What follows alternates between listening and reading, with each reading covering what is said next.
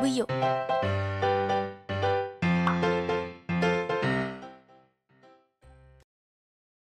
어. 나는 그냥 인디밖에 못 봤잖아. 잠깐만요. 동생이 떡볶이 다 만든 것 같은데? 받아와야지. 떡볶이 받아야지. 잠깐만요. 동생한테 갔는데 언니 내가 뭔가 잘못한 것 같다 내가 뭔가 잘못한 것 같다 내가 뭔가 이상하게 만든 것 같다. 와. 오정희님 베스트 비 그래가지고 동생이 계속 아 이거는 좀 아닌 것 같다. 이거는 좀 아닌 것 같다. 그래서 왜? 그러니까 기름 떡볶이를 만들었대.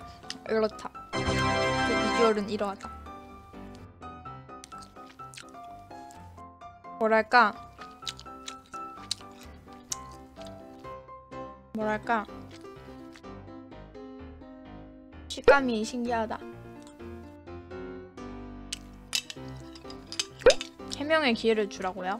동생이 만든 건데 그냥 그렇다고. 여러분들은 뭐 지옥의 노잣돈을 튀겼느니 뭐 감사합니다. 짜잔 여러분 이렇게 추억의 소시지 부침이 완성이 됐어요 일단 비주얼부터 지옥의 화염으로 조리한 뒤틀린 녹용 지금 방송을 아마 보고 있을 텐데 해명하고 싶니 동생아? 해명하고 싶다면 내 방을 두 번 두드리렴. 틀린 욕심 때문에 아무리 그래도 어어 똑똑똑 쾅쾅쾅 이게 뭔가요? 기름 떡볶이요. 왜 이렇게 됐죠? 백종원 따라 했는데 아 백종원 선생님 레시피요. 탔네요. 이게 좀 탄 거라 생각하십니까? 빅비나 해명할 시간에 떡볶이 컵라면 안에 이런 게 물이나 있어요. 올리자. 간간이 간간이 이런 게 있거든요. 지금 초점이 안 잡힌데 그냥 새까만 덩어리예요. 이런 게 떡에 덕지덕지 붙어 있... 양념이 묻은 파라고요. 이거 진짜 딱딱해요. 포크로 찔러도 기스조차 먹어도 안 죽어. 기스조차 안 나요.